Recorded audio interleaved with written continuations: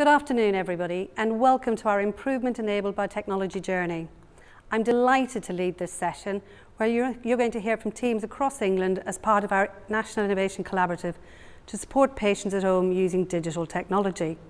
You'll hear from frontline teams about the fabulous work they've been doing in unprecedented times. I'm Breid O'Brien and I lead a team in NHSX focusing on technology-enabled remote monitoring. Our role as a national organisation is to drive digital transformation across the NHS and, NHS and care sector in England. I'm a nurse by background and an improver at heart.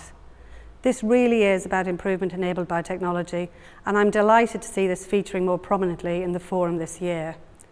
I believe aligning the efforts in our digital and improvement worlds more closely provides us with an amazing opportunity to really make a difference for our patients and citizens. It's been a rapid journey for us this year, from testing a concept in Wave 1 to a national spread to 90 organisations by the year end of a technology-enabled remote monitoring service for patients with COVID. You'll hear some examples later, including our first acute site.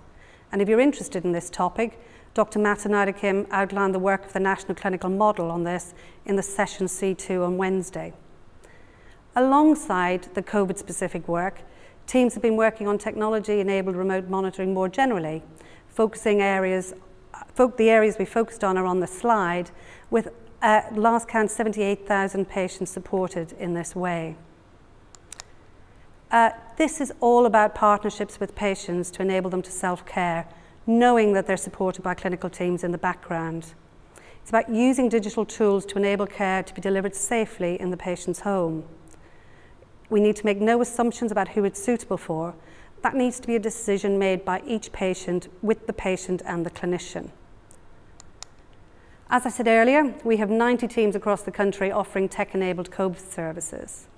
This map shows the other 24 areas of focus, all determined by local teams a real focus on long-term condition support, and we were delighted to see working care homes featuring everywhere, as this was such a vulnerable group during COVID.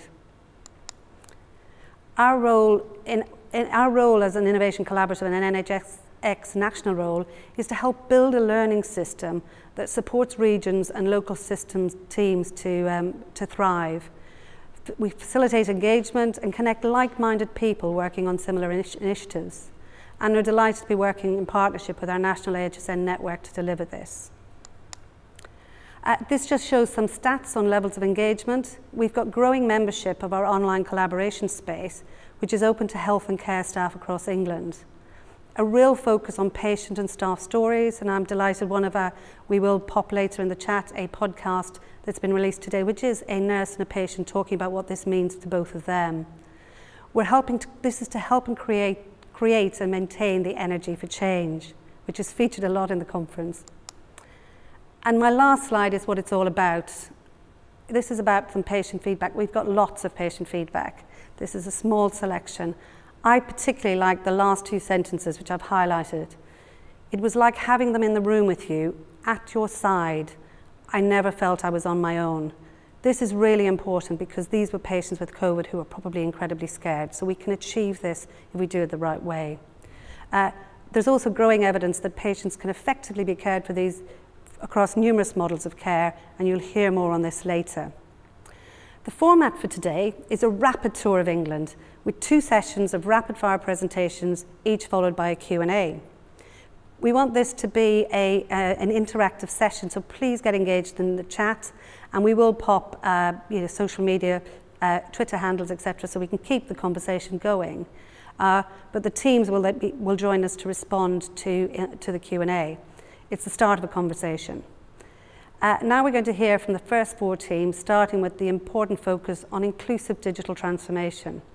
I'm delighted to introduce Roz Davis. Uh, she's the Managing Director of mHabitat to kick us off and tell her story. Roz, over to you. Thank you, Breid. Um, and as Breid just said, um, I work for mHabitat and we are a multidisciplinary team of designers and researchers and engagement specialists. And we're hosted by Leeds and York Partnership Foundation Trust. Um, and I'm going to share with you today a brief summary of our inclusive digital transformation programme. And I have actually stuffed the slides full of more than I can talk about today, but I hope they will provide you with a useful takeaway. And please do get in touch if you want to find out more. So As we are aware, or um, the pandemic was a, a, catalyst for the rapid digital transformation of health and care. But the unintended consequences were the triple whammy of pre existing inequalities exacerbated by COVID 19 and by digital exclusion. And the people most affected by these inequalities are most likely to need health and care services. So, in response to this, we embarked on a journey of discovery to understand how we might embed inclusion upfront into digital transformation. And the remote monitoring programme, led by NHSX, was one of the early projects that we connected with.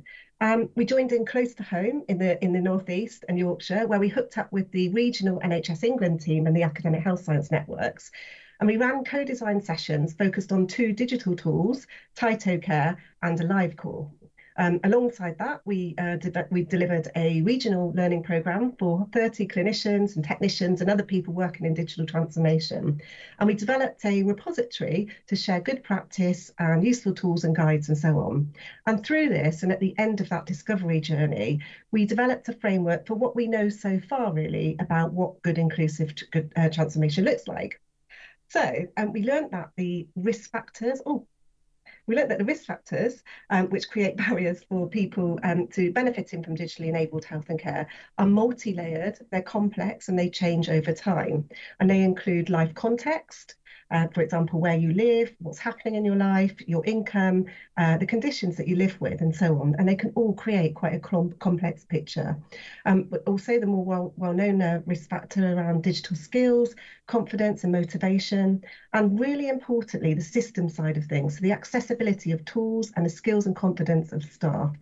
And it's clear to overcome these barriers, we need to join forces and pool resources across sectors. So whether that be the, um, the voluntary sector, local government, academia and the private sector, they all have a part to play.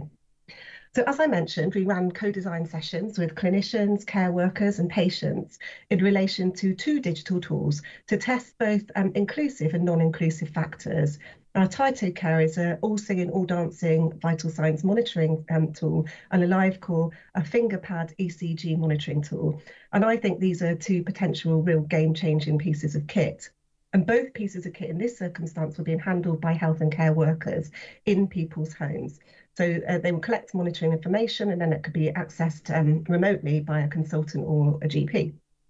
So obviously the digital skills required in both cases were related to staff, not patients. But we discovered that life context can still be, in some cases, an excluding factor. So um, in Tyto Care, for example, it's not always appropriate for people living with paranoia. And for AliveCor, there are physical and cultural and potential learning disabilities that can um, have, have a relation to exclusion factors. So we also learned that internet connections are not always easy to access in care homes, um, and it can uh, due to, due to um, patchy broadband, and GPs don't always have the the right devices to to receive the information.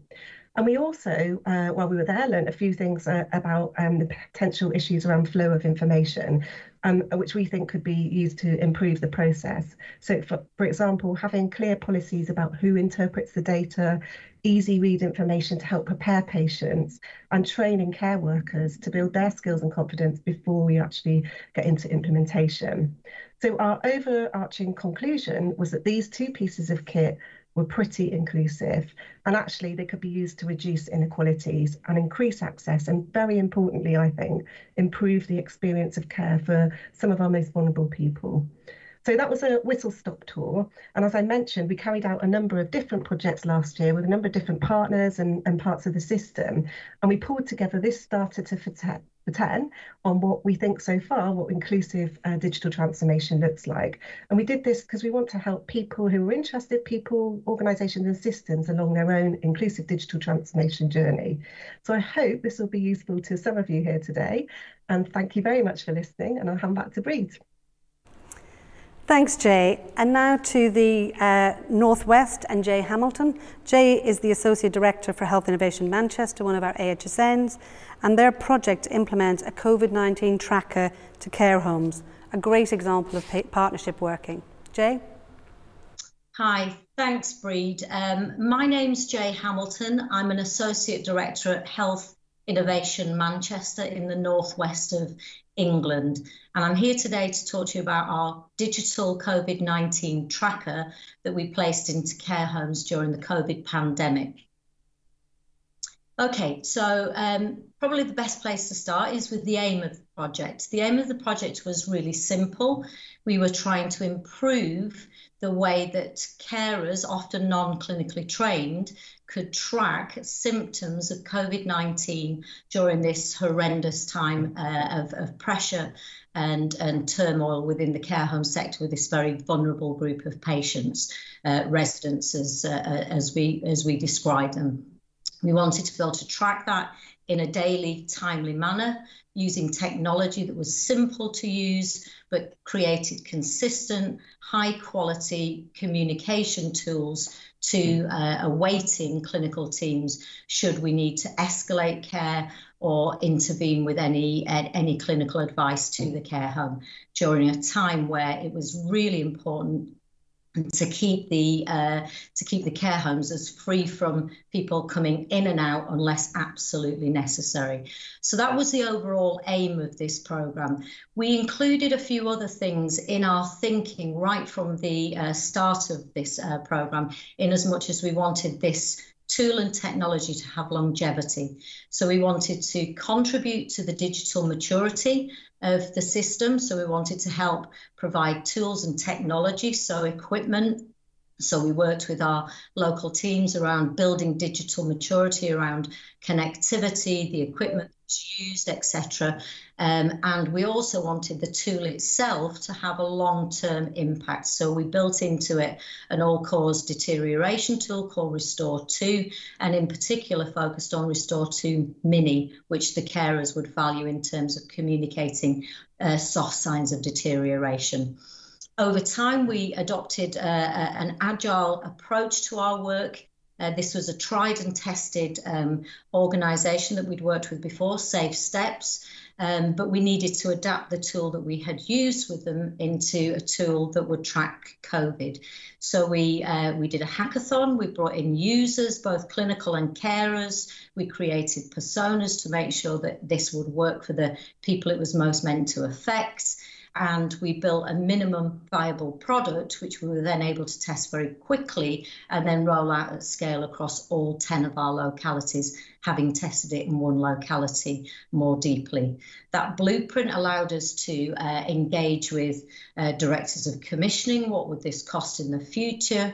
To communicate with our DASs, which are our directors of adult and social care. So we were bridging gaps between health and social care, which was another aim and approach of uh, the, the, the, the work that we were doing.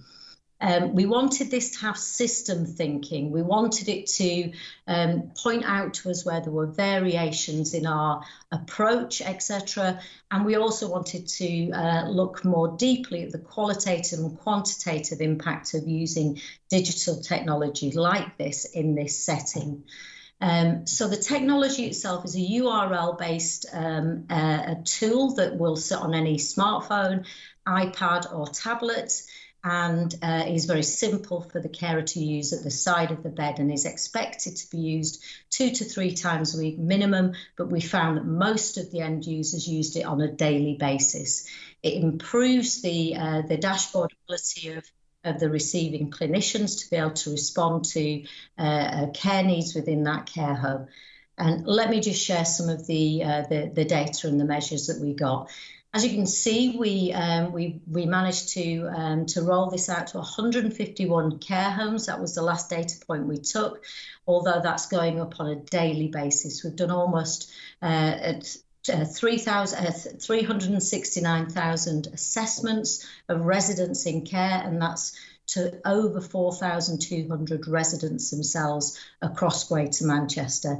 We've now set the um, the tool up and it's it's licensed for a further year, and we continue to develop uh, adopt and spread methodology to try lift the blueprint that we created early in the uh, program into common use across the entire system itself. We have um, some of the key learnings I think that we we have are around the, the, the technology is, is great, but unless you train uh, the individuals, the carers at the bedside, and the um, clinicians receiving this data, uh, that's where the real uh, secret sauce is, is created. Um, many thanks and, uh, uh, and look forward to questions. Thanks, Jay. And do remember to pop your questions in the chat um, as we go. Uh, and now to the southeast, we've got Mark Needham. Mark is the Digital First Director and joined by Georgina Walton, who's a Senior Project Manager. Their work, they're going to tell us about their work with digital remote monitoring in care homes and community health. Another great example of partnership working across health and social care. Mark and Georgina. Thank you, Breid. Good afternoon, everyone. Uh, we'd like to tell you about digital remote monitoring in Kent and Medway. I'm Mark Needham from Health. And I'm Georgina Walton from Social Care. Our aims. In March 2020, we recognised there was an immediate need to move to digital pathways in primary care due to the pandemic. After the impact of wave one, we decided to build a digital bridge to care homes because the homes were cut off. And also during the winter, we use digital remote monitoring to support COVID patients and monitor their, their oxygen levels. So what were the key elements of this project? Getting the foundations right was essential, and we had to ensure that we had a confident and competent digital literate workforce, care sector workforce, that could embrace a range of technologies, including digital remote monitoring. We approached this through a range of activities, which included training on Microsoft Teams to enable video consultations, NHS mail training to ensure the secure exchange of information, and introduced video care phones from social care, which was in, introduced during the pandemic to reduce social isolation and connect family with um, people with family and friends. We also distributed 550 um, iPads and delivered training on how to use these devices effectively, including a range of apps so that care workers could utilise the apps such as Help to Care, which was introduced in Kent and Medway for people that provided care and contains fundamental care elements to keep people well and out of hospital. We also connected 205 GP practices with 400 care homes. Thank you, Gina. What was our approach to digital remote monitoring and technology? In December, we procured a digital communication system with 5,000 oximeters and 5,000 digital licenses. By providing apps for patients at home and care home staff, they could send their oxygen saturation levels, which could be monitored remotely by our clinical teams. Since then, we've now put, we are now putting in place monitoring for 5,000 care home beds we're extending the digital monitoring of a range of vital signs, including blood pressure, temperature, weight, and pulse. Digital remote monitoring has allowed us to be preventative and also to start doing monthly health checks. digital remote monitoring also allows us to prevent deterioration and monitor more intensively patients outside of hospital. We would now like to talk to you a little bit about the outcomes and impacts of our work. So, what has been our key learning? It's really important for the health and social care partnership to work collaboratively and gain the trust with the care sector and engage and work closely with the care sector to understand the challenges that the care sector is experiencing. When we started our project, we understood that there was wide variation in digital literacy, uh, literacy and infrastructure within care homes. We spent time understanding this situation to understand what support the care sector needed and to inform our project plan. This enabled us to build the foundations to embrace digital remote monitoring and other technologies. Once we built the confidence with the care sector workforce and built the relationships, we started to win the clinical hearts and minds to embrace new technologies such as digital remote monitoring. This was supported through sharing case studies and insights from the people involved and demonstrated the impact of this work. This work has now informed our future digital roadmap and has informed the development of digital leadership roles such as clinical safety officer, digital nurses, and care home facilitators. Thank you, Gina. And we'd also like to share a little bit about the impact that this has had for our patients and our system. Building on the confidence of staff, we've managed to monitor 6,000 patients remotely Of these, 1,000 patients have received digital remote monitoring. A very small proportion have been escalated to A&E or the emergency department, which suggests that we've prevented a deterioration of patients, but also helped them get support from hospital when needed. We're really only beginning to understand the use case of digital remote monitoring, the benefits of clinical decision making, and the opportunities for providing more proactive care for patients. The national team believe, as do we, from the evidence we've seen so far, that this has saved lives. Thanks, Mark and Georgina. Our last presentation for this part of the session, and we're off to London, where Dr. Shani Gray, a GP and clinical lead for remote monitoring in care homes, tells their story of making a difference for care home residents and health and care staff. Shani, over to you. Thank you, Breid, and good afternoon, everyone. So it's really great to be able to speak to you today a bit about the remote monitoring in care homes project that we're doing in North Central London using Whzan. Um, so just to speak a little bit about the kind of the aim of this project and what we're wanting to do with it. Um, so we're looking at introducing remote monitoring to over 100 care homes across five boroughs in North Central London.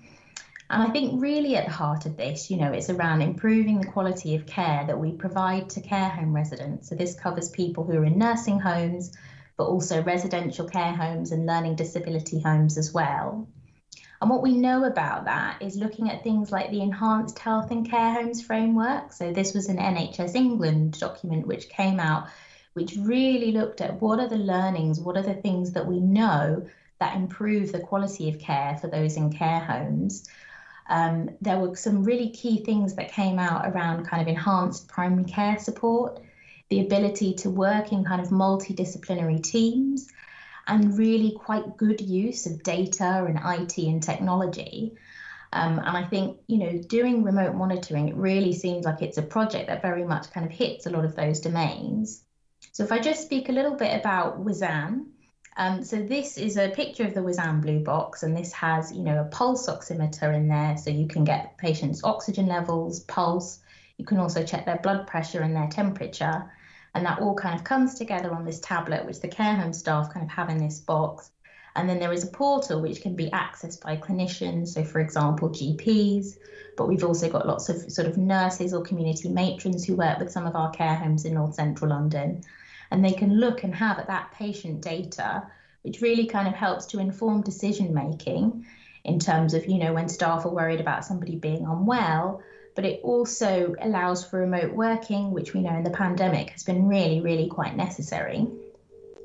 Um, our approach to kind of how we've looked to implement and embed it. Um, so we very much wanted to work with the willing, and I think that's quite important whenever we are trying something new. So we looked to get expressions of interest from care homes who are really keen to get going from this, and also expressions of interest from GP practices, and really look to trying to kind of match those up. Um, and then take that forward from there to kind of see which homes we worked with. And I think in terms of stakeholder engagement, which is so important, we've taken sort of multiple strategies in terms of the team I'm working with. So we've got a team of nurse educators who work with the care homes and myself and a whole project team. And I think it's been really key that the kind of the stakeholder engagement is ongoing, and whether that is written information, webinars, local forums. Um, and really using a lot of the existing relationships that we already had in the system working with care homes um, to kind of, you know, as the foundations for getting this going. What we found, and in terms of some of the improvement principles we've used, um, certainly, we've done quite regular sort of PDSA cycles as we're implementing this. So even a simple thing like, you know, how do we induct a care home in a GP practice? Constantly trying new ideas, often even on a weekly basis around, you know, how we train people up. Do we do it in person? Do we do it remotely? Do we have a video for people? What feedback do we get? What do we learn from this to quite, you know, keep improving on the process and fine tuning it the whole time?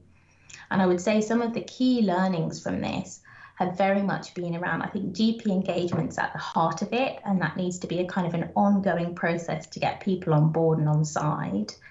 Certainly, it's perceived as most beneficial in care homes where this is adding something new. So, particularly in our learning disability homes and in our residential care homes who weren't doing observations for patients before, this has really, really added something. Um, whereas for our nursing homes who were doing this sort of prior to now, it maybe adds something less so. So thinking about your environment and your setting.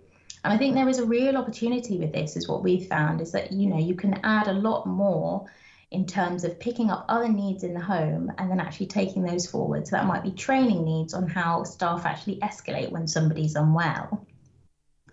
In terms of how we're evaluating this, so this is being led by the Health Innovation Network, and we're looking at a whole range of patient outcomes. So we've got a number listed here, particularly around things like falls, UTIs, minor head injuries, some of the really common things that people get sort of brought into hospital for. We're also going to be getting qualitative feedback from a range of clinicians, residents, and staff. Um, where we're at at the moment, so we've got 60 care homes who have implemented this and are using this.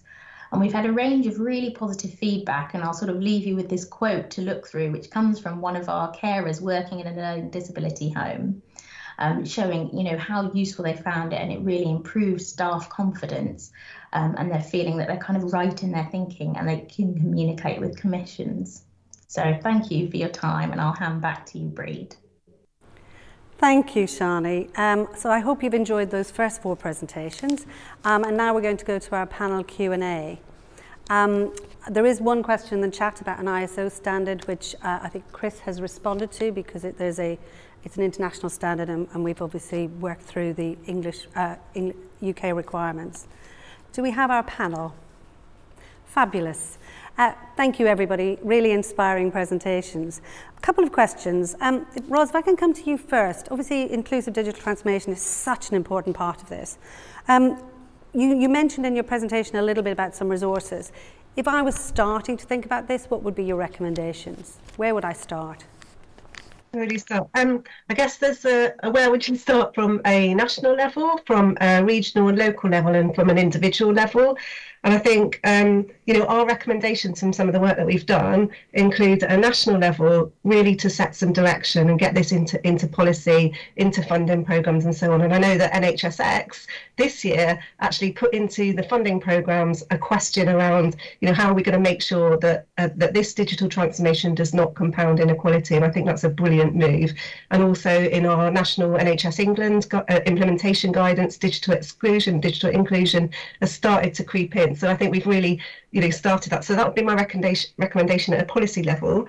Um, at a local level, I think it's really important to reach out to the partners. And I think a number of um, uh, people today have talked about partnerships, and it's so important across local government, across the voluntary sector, and particularly in partnership with people who we're talking about here, because they're not the, the problem, they're part of the solution.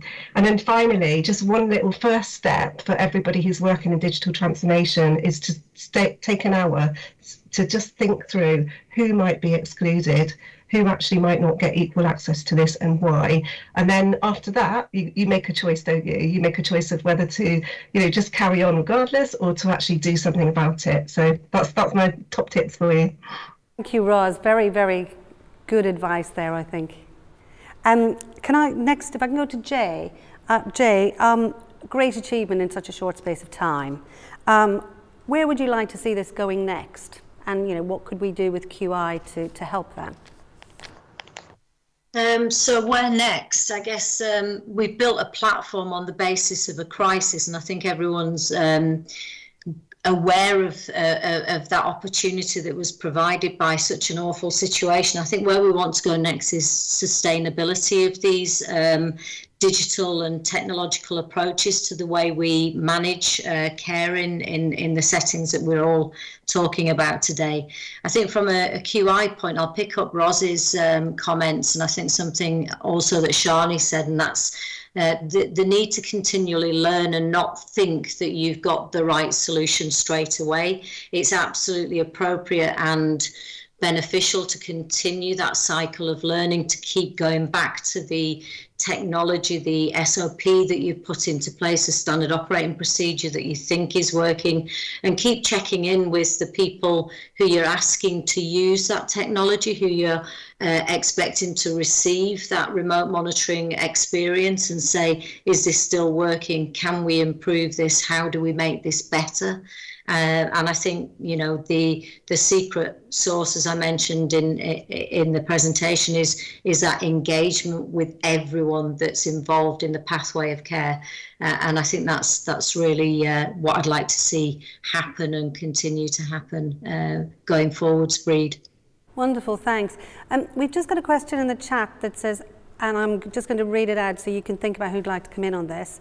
Uh, so I'll give you a moment. How do you mitigate against the risk of medicalising people in their, in their homes, care home, who don't want it? Who undertakes the treatment escalation planning news trigger NEWS2 triggering? So if we can, if people can ponder that and let me know who'd like to come in on that.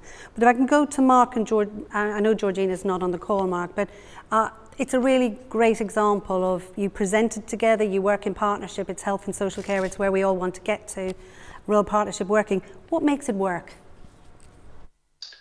Um, Thank you. I think the, the joint problem, particularly during the pandemic, about how to provide health and care to care homes was a, a shared problem for the council and, and the NHS. Um, I think what makes it work with care homes and, and primary care networks and GPs is showing that this has real tangible benefits for them. These are very resourced, uh, challenged areas of our health and care system um, and building on existing relationships, really. Uh, making everything as simple, accessible, uh, and doable as possible. Thank you. And, and Shani, I'm wondering if you'd like to pick up the medicalising question. Um, uh, as a medic, it, it might be something close to your heart. Absolutely. And I think this is something that we've had to do a lot of kind of soul searching around, even locally, because, you know, this is people in their homes. And if they are in a care home, that is still their home. And I think it's really important to recognise that differentiation that they're not in a hospital, that it is, it's a different setting. Um, and I think it is a balance. I think there's really something around, um, to fundamentally put it, using common sense. So, for example, we're using NEWS2 with Whzan. There could be potentially a real risk with that that you're kind of seeing so much that falls into the kind of abnormal or escalation range, but you have to look at it in the context of the actual person and the individual. And I really, really see this as this is just supplementing with additional information, but it doesn't change how we make decisions. So, for example, lots of people, particularly if they are older people in a care home, they should have an advanced care plan that should take into account that person's wishes their family's wishes, what the care home staff know about them, what the GP and all the other people. And I think it's really important with remote monitoring that that doesn't end up seeming as trumping that and that's medicalized and so you know you must call an ambulance or whatever sometimes and we actually when we developed locally our own kind of how we were going to use NEWS2 we looked at what were all the services we have in place to support people in the care home and we kind of put a big sort of caveat at the top saying what is the context of this person's health? What's their advanced care plan? And actually, if somebody's deteriorating, it may be that actually that's enacting an end of life care plan rather than, you know, escalating somebody to hospital as being acutely unwell. So I think the context is absolutely critical and it's really important, I think, anywhere that's doing this to bear that in mind about, you know, it's supplemental information but use everything else you know about that person and who they are and what they want and what their health is like and their family's involvement. And then you can make actually really sensible, well informed decisions, I think. Um, so, yeah, you've got to look at the context of the person. Thanks, Shani. It is all about personalised care, isn't it? This is not about using something for the sake of using it. Um, we've just had another question about ha, um, have we had to cover any of the software's medical device legislation in the deployed systems? That's a fairly generic question, um, and we've got uh, lots of different uh, platforms and technical solutions being talked about in this um, presentations. Uh, all of our all of our um, projects have gone through uh, consideration against MHRA. They, people have to do this as part of the uh, process that I think Chris Richmond has outlined in the earlier chat uh, around the DCB 0129 and 160, which is part of our clinical safety sign-off. So, um, Chris, perhaps you could pop some links to MHRA in the chat for those who aren't from the UK. That might be helpful. Um, on that note, I'm just going to ask um, somebody who, uh, any, anybody if they want to make any last comment, having heard each other's presentations actually, if there's anything that you'd really like to finish on. Um, I'll say something if that's okay, Breid. Um, and it's really to remember that digital trans digital is a tool um, and it's a means to an end, it's not the end. Um, and I think that's been really well explained by, by my colleagues today. Um, but also to remember that not everybody has equal access to digital or is easily able to access to digital. And those people are more likely to need health and care services. So when, when, we're, when we're developing digitally enabled health and care, we need to co-design in partnership with those people and understand the context, understand what matters to them, their context, and what might get in the way, and make sure that they, they have um, you know, continued equal access to the health and care services that they need. Thanks, Roz. And that actually reminds me, there was a question earlier in the chat about these technology projects. I, don't, I think this is not about technology or about QI, it's about both side by side working in partnership. This is really about our common sense of purpose to improve care for our patients and to give, support people at home who want to be supported. Coming back to the previous question, it's about what's right for that patient. So on that note, I'm going to say thank you to our four presenters and panelists. Um, fabulous session and uh, yes, we will move on to the part two of our um, presentations. So on this, um, our next speakers, this, the focus of this second part is uh, our COVID virtual wards or COVID oximetry at home uh, projects that I talked about earlier, and we will finish on a mental health um, project. Um, so we're going to start in the southwest of England, and I'm delighted to introduce Dr. Hein Le Roux, a GP and clinical lead for this, and Megan Isaac, who's the senior project manager, to share their story of a primary care-led COVID oximetry at home service. Uh, over to you.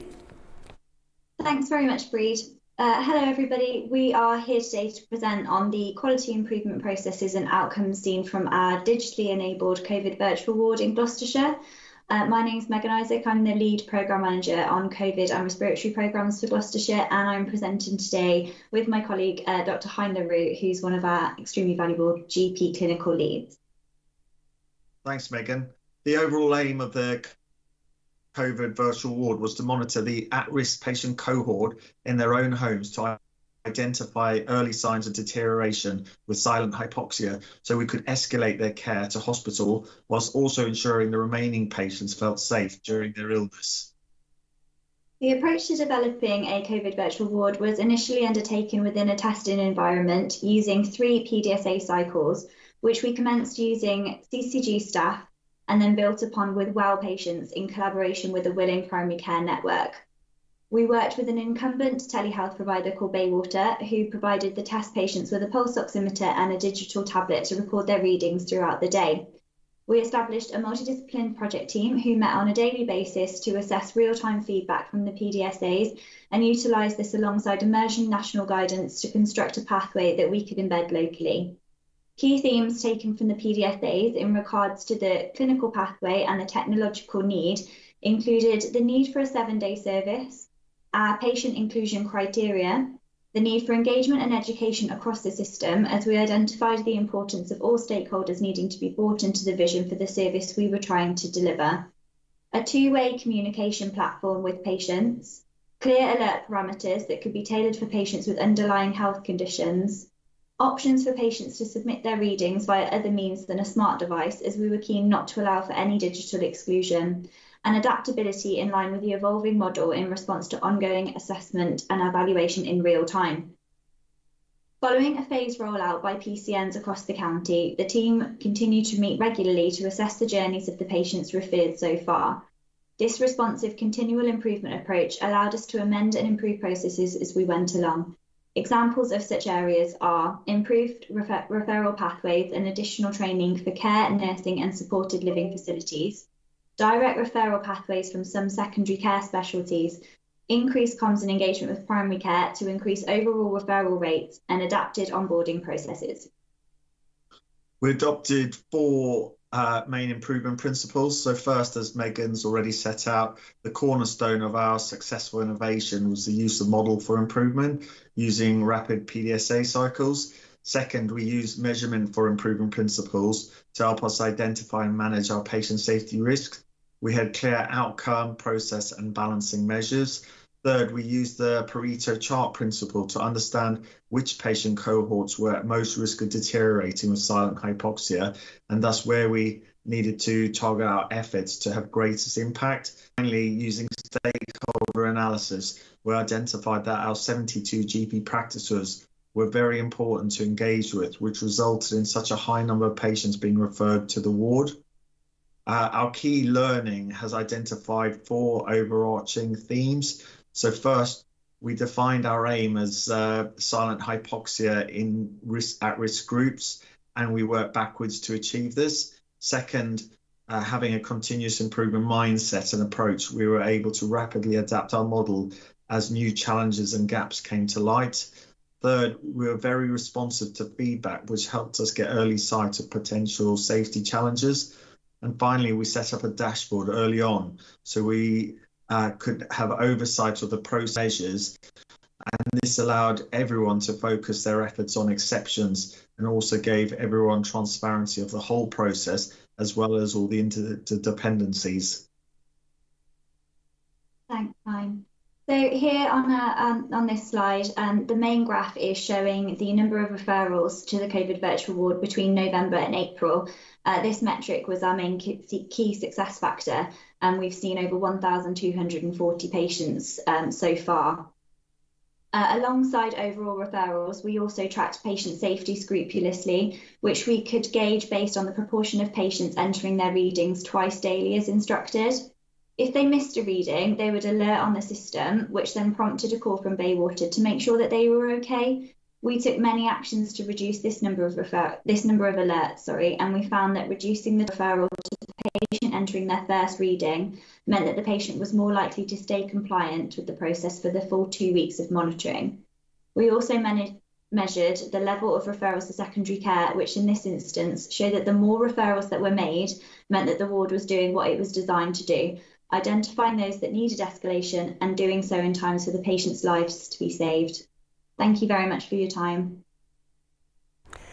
Thanks, Hein and Megan. And now to the Midlands. Uh, and again, delighted to welcome Zoe Harris. Zoe Zoe is the Integrated Cardiorespiratory Clinical Lead and is joined by Alex Woodward, the Deputy Cardiorespiratory Lead. And they're telling us about their community-led COVID virtual ward. Over to you. Thank you, Breid. Um, good afternoon, everybody. Um, we're delighted to be here from the East Midlands to talk to you about digital pathways for the management of cardiorespiratory conditions and COVID 19. So, the aims of the project were at the beginning of the pandemic, we developed two new digital pathways for COPD and heart failure patients.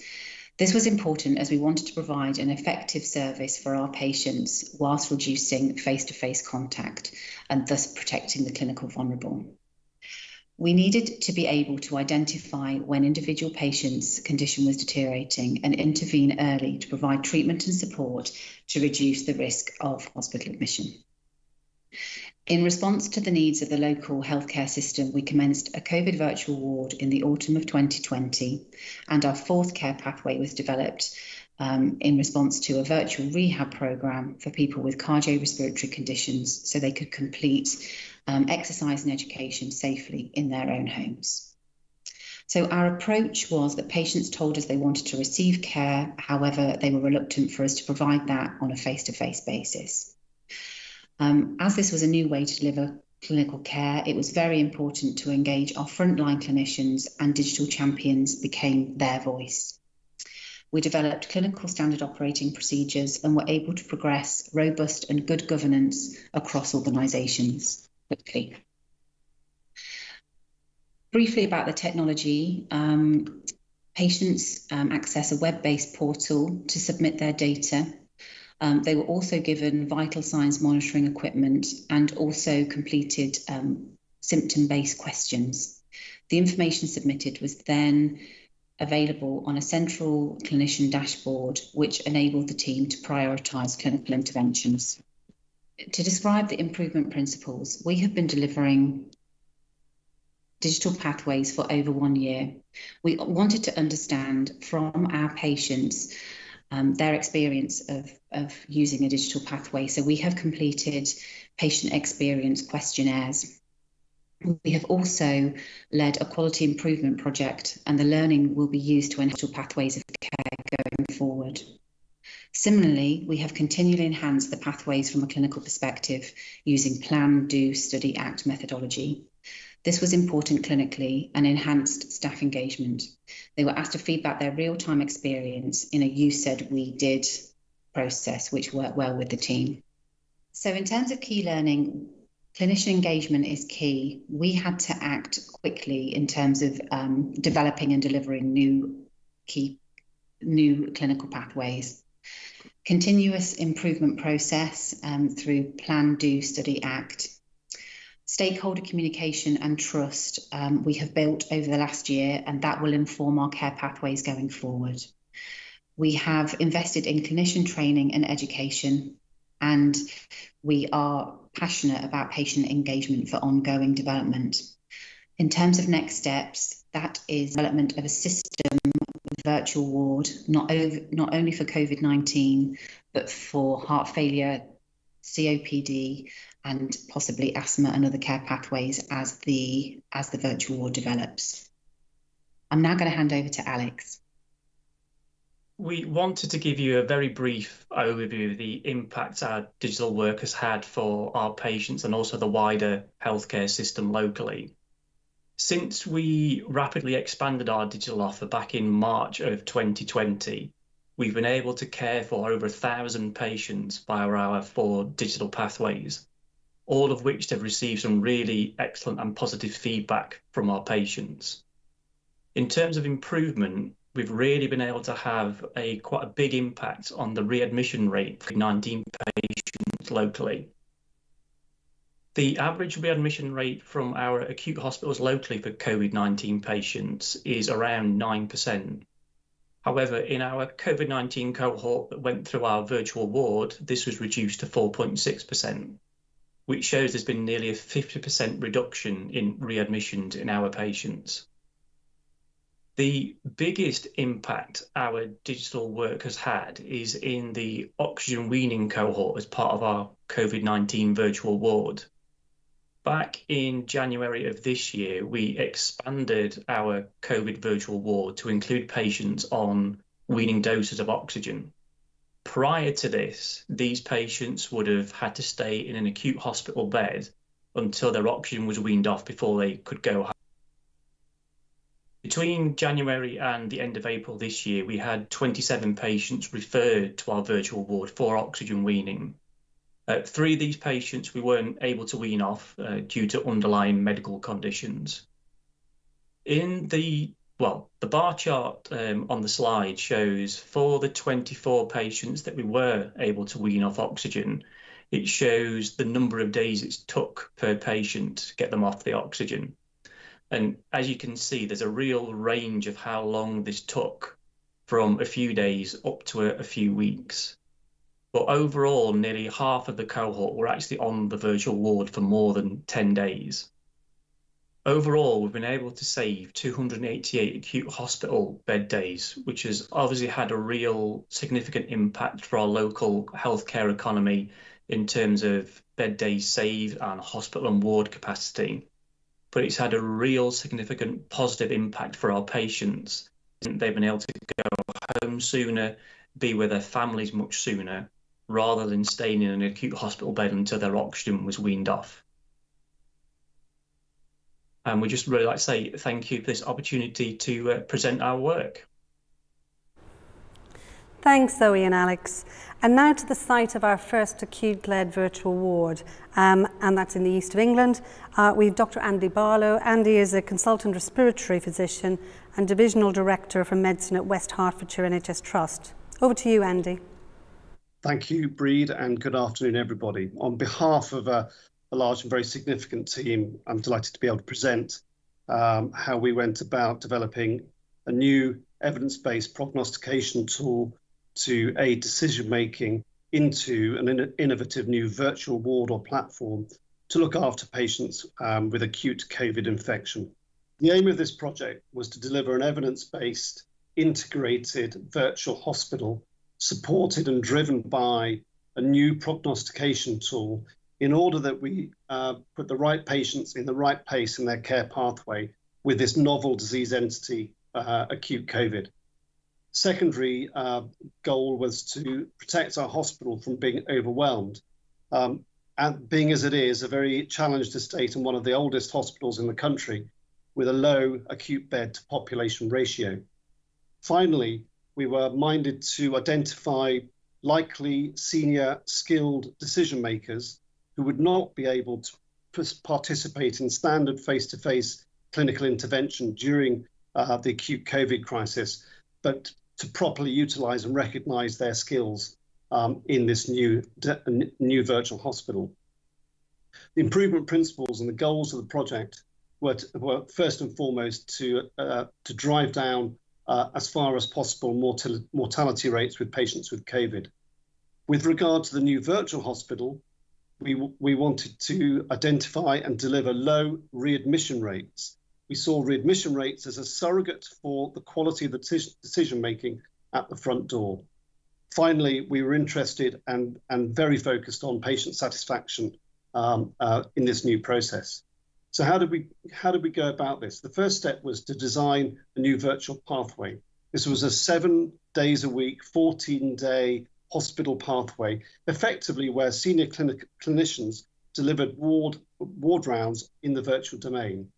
Initially, this was supported by pulse oximetry, but as, as in later iterations of the cycle um, in, uh, of ad adaptation, um, we folded in a new web-based uh, monitoring program provided by uh, Huma called Medopad. This enabled patients to interact with clinicians um, provide and upload physiologic data uh, and symptom profiling, and offline for clinicians and patients to interact together. Uh, in order to commence the pathway, uh, we designed a, a, first, first cut of what the clinical pathway should look like, and the entry criteria were, were designed based on data that came out of Northern Italy and China. However, we were very minded to identify a prognostication tool that was suitable for our, our population. And during the first wave, uh, with a very large team of junior doctors, we organised and accrued data on all our acute COVID patients. And that led to the publication in Thorax of this year of the score of the SOARS scoring system. And this to date is still the first front door scoring system designed to, for decision making in the emergency department, which is not reliant on any sophisticated investigation or test result. Um, and so um, we, we, uh, we ran the pathway with this new scoring system from the end of wave one and through wave two. Our key learning um, was that this, this was a safe and effective method to manage patients in the acute setting. And we're in an advanced, um, advanced setting to develop and deliver new COPD and heart failure virtual hospitals which are integrated with community teams and stakeholders in, in our locality. Key to any um, new intervention um, is to ensure that the governance and the safety of the programme um, is robust. And to date, we're, the, uh, we're one of the few virtual hospitals in the UK to publish our data um, and, and subject it to, to the scrutiny of peer review. The first 900 patients uh, results were published in the BMJ Open, and the reference is provided here. The table on the right-hand side actually shows the full Wave 1 and Wave 2 dataset. Um, and it, I'd like to draw your attention to a number of things. Firstly, the overall mortality rates were very low and actually dropped in Wave 2. And secondly, that our readmission rate from the virtual hospital again was low and fell significantly in the, in the second data set. And in doing so, we've, de we've demonstrated that, um, that we've delivered on our initial intentions to provide a safe virtual platform, um, but also uh, uh, ensuring that the quality of the care has been very high. In relation to patient feedback, we, um, we were one of the five trusts to provide data for Naomi Phillips' uh, review of acute COVID hospitals in uh, late 2020. Um, and we continue to update our uh, upload our data to the national survey. Um, there's a link uh, provided uh, here which also shows what, what, one patient's particular views were in terms of her experience of the virtual hospital. And this was a subject of an, a, a national news article which we were delighted to collaborate with. Can you make it to the top without stopping? If I go very, very slowly, yes. Okay. We know things have changed, including hospital consultations, but this one is different still. Natasha, who had coronavirus, was given a device to monitor her own oxygen levels at home.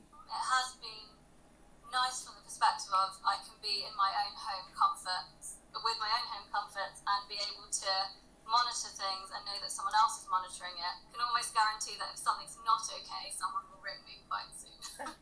um, and, and finally, we, we, were also delighted to be name checked by the BMJ as one of the first virtual, virtual hospitals to open in the country.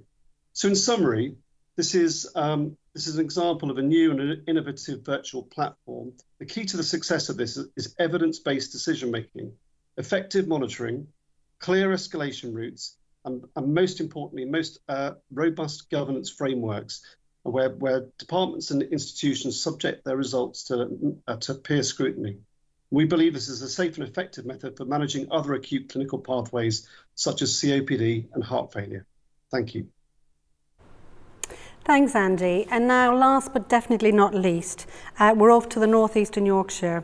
We've got Dr. Mani Krishnan, a consultant psychiatrist, and Lauren Bennett, an innovation coordinator. And they're going to tell us about the use of technology to enable them to continue to provide safe care for patients needing antipsychotic medication during um, COVID. Over to you. Thank you, Breid. Good afternoon, everyone. I would like to share our experience uh, from the Northeast and Yorkshire on one of our innovative TEAS remote ECG project. The project was about use of a remote ECG monitoring device uh, called AliveCor 6-lead ECG device. And this device, we used it as a project in our trust for uh, monitoring patients who are on antipsychotic medication and also initiating patients on antipsychotic medication. The reason for this project uh, to take off is the pandemic. During the pandemic, as we all know, routine investigations have been stalled or postponed, and then some of our patients uh, were not able to access ECG. And at that time, we found this innovative device that could be used remotely using Bluetooth technology. Uh, and uh, we thought we will try to look at this as a usability. And what we did as an improvement methodology, we did a we used the PDSA cycle. We planned how we want to uh, implement this project, uh, and then uh, incidentally, because it was a COVID pandemic, we were able to get some engagement from our trust senior leadership uh, to get a go ahead to try it out. And then while we were doing this, we thought we will get a real world evaluation of how the benefit of this uh, using this device was. Uh, and so we started with the um, implementation of the project with 30 devices as a pilot project. And then we also did a real world evaluation on uh, what are the benefits of it. Uh, we used the device uh, in the community, you know, taken by our uh, nurses and support workers. And then we asked the patients uh, about what do they think uh, about the benefit of uh, using this device? And uh, as you can see from the graph, uh, patients really loved it. Uh, they thought it is easy.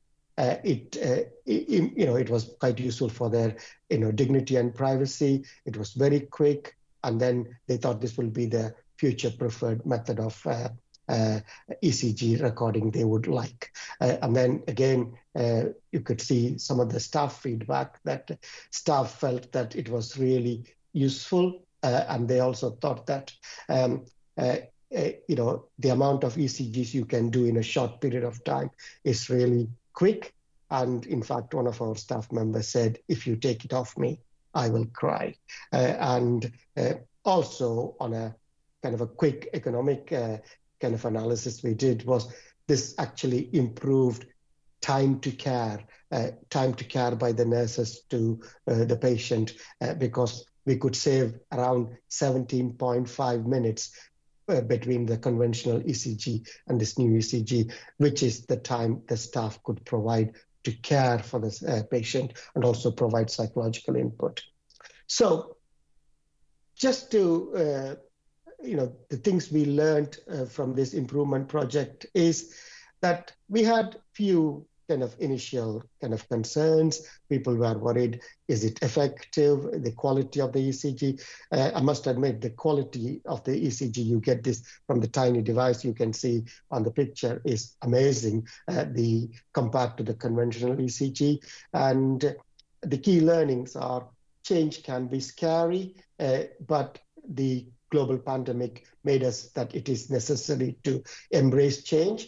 And we needed group of multidisciplinary staff to support us with the project uh, and also uh, supporting, facilitating training for everyone, and then starting to upscale the project and share and spread way for everyone to take it is really important. So I do think that with this project that we were able to break some of the barriers during the pandemic you know, if it was pre-COVID, probably I don't think we would have very quickly scaled it up. We were able to plan, do, study, and then act and upscale in a very quick way. And we need to learn this in the future so that this kind of innovation is embraced across the um, global healthcare. Thank you.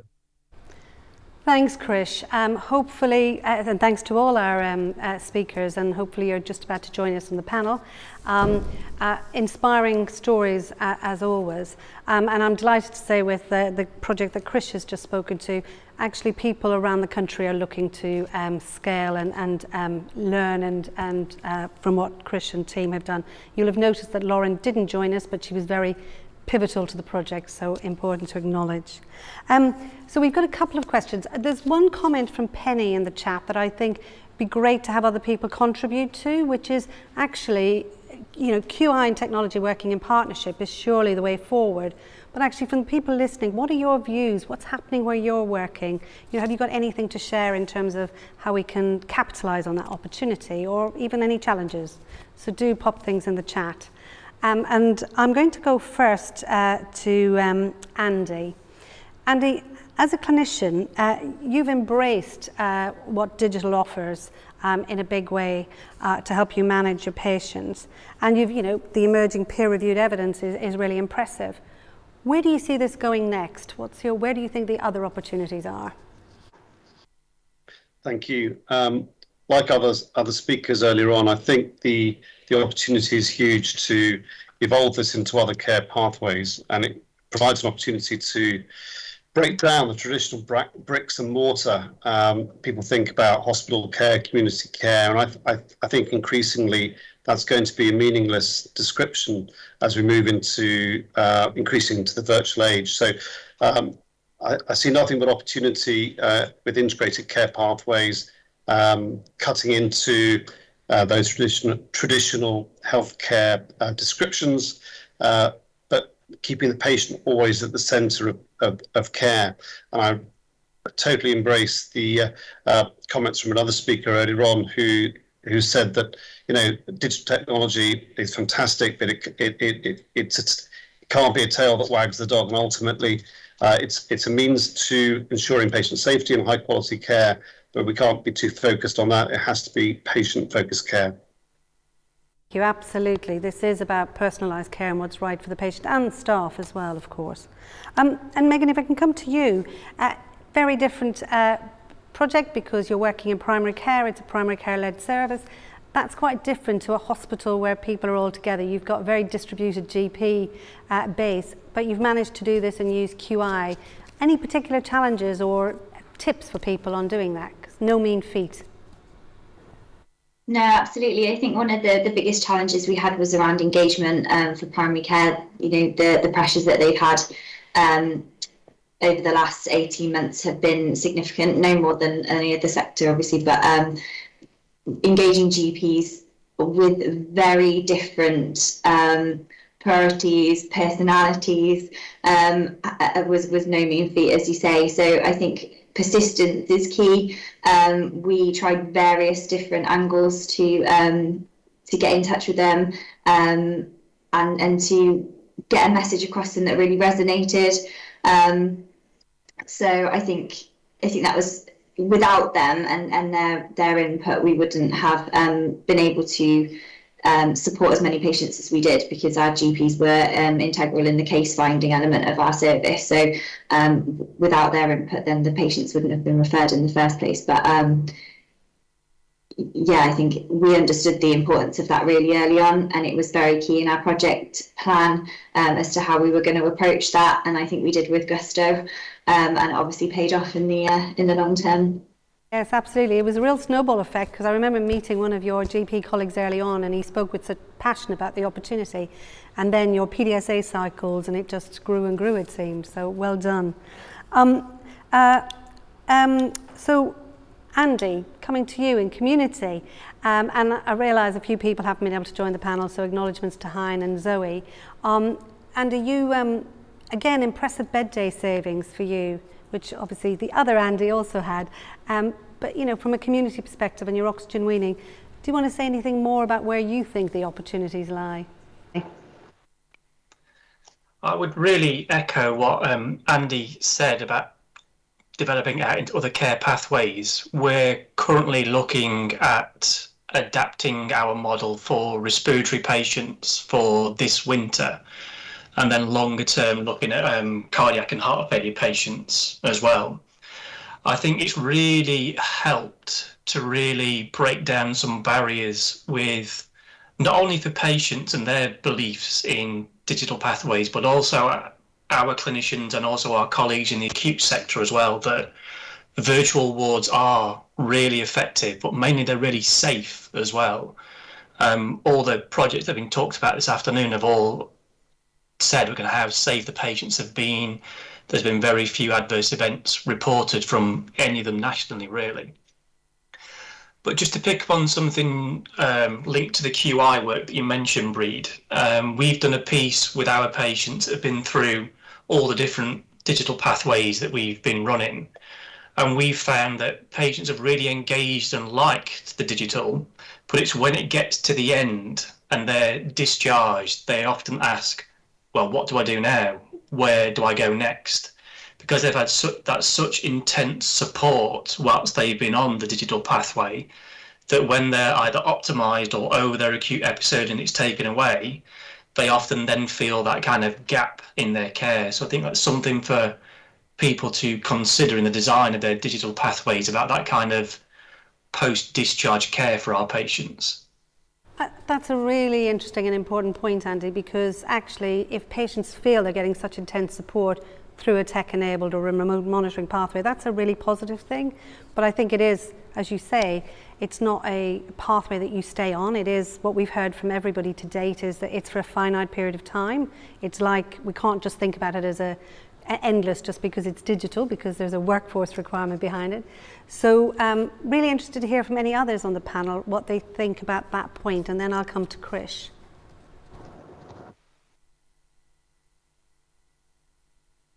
What are patients that might need ongoing, or has anyone, have you had any experiences Andy has outlined? Can I come back in, Bree?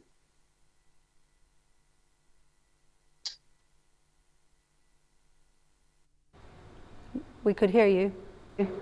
Uh, okay, uh, I was just going to uh, uh, pick up a point that Alex made about um, there's something special about this enhanced uh, cover patients receive on a digital platform that um, it may be over and above what they would have normally received in a standard care pathway, maybe where they started off in hospital and went home. Uh, and we, we saw a similar significant reduction in readmission rates uh, and Alex's Alex's data was very impressive, showing um, showing how far below the national average of one in, uh, uh national average of readmission uh, that were experienced with COVID, uh, which is about 30% at 90 days. So his data is very very impressive, um, and it may well be that there's something about that that increased attention to detail whilst they're on that platform, the, the virtual platform um, which enables clinicians to pick up new problems that weren't previously there and to identify anxieties and issues and, and avert and allay, allay concerns at that stage rather than allow, allow them to grow. And I think that's one of our interesting opportunities here, isn't it? As a longer term study, what are the outcomes? Because we can't tell uh, just now, but we have seen some um, early evidence from work in the northeast again, where patients on a self-monitoring INR pathway who take warfarin, that actually they're staying in therapeutic levels more because they're self-managing and being uh, perhaps more responsible. So there's, I think there's going to be really interesting findings in, in due course, but we need some time for some of those larger outcomes. Krish, coming to you. Um, you have had fabulous staff and patient feedback. Um, and we know that uh, we've, had an, we've got an appetite for this across the country now. What's your advice to people from England, outside of England, you know, that might be thinking about doing something similar and they're just starting out? I think as we all, the colleagues have explained about uh, how quality improvement comes to real life, it's the patient care, the passion to care, passion to improve, passion to embrace digital technology are the key in getting from what we read to coming back to the practicality. This tiny device, I've been watching more than a year, even before the COVID, how to use it. But I was using that opportunity when FDA gave an emergency authorization on 23rd of March last year. And now, year on, we have done 741 ECGs. First time in the world. We couldn't have done it without that improvement methodology. But we had COVID as an enabler so even though we had a terrible pandemic, we used that to our advantage to break barriers. So when you have a passion, when you have a curiosity, always use your networks and your support to get that better thing for the patient. So there will be barriers, but there is always ways to overcome. Just to let you know, today we had all our clinical safety case, everything was approved just around an hour ago. So it'll be ready to roll out even wider in the trust. I couldn't have done it without the support of our HSN, NHSX, but the passion to do the right thing for the patients. Krish, very powerful words. And actually, it's reflective. You talk about your networks. Great keynote speech this morning with uh, Hugh and Vlad, worth a watch in terms of networks and the power of people. Um, and I think a couple of other sessions that link because uh, to some of this. At 7.30 this morning, Penny and others talked about some of their work in COVID and digital, really powerful stuff from um, uh, the UK and Nigeria. So there's lots, I've been really delighted to see how much digital and QI are starting to merge in this particular forum, and I think COVID has been a real catalyst for that. We're now come to the end of our session, so thanks to, to, all our presenters and a special thanks to my colleague Donna who's done lots of work in the background to support us all and to Martin who's been fabulous with technical support. Um, we would like to invite anyone who's interested in more, hearing more, to join us. Donna's put some things in the chat around uh, an event we're having on the 24th of May, so please do join us if you'd like to hear more. And remember I said at the beginning, this is the start of a conversation, so please connect social media. People have put their comments or their contact details in the chat. We want to keep the conversation going because I believe QI and digital together will just be such a powerful force as long as we always have the patient at the centre. So on that, thank you all and have a lovely weekend.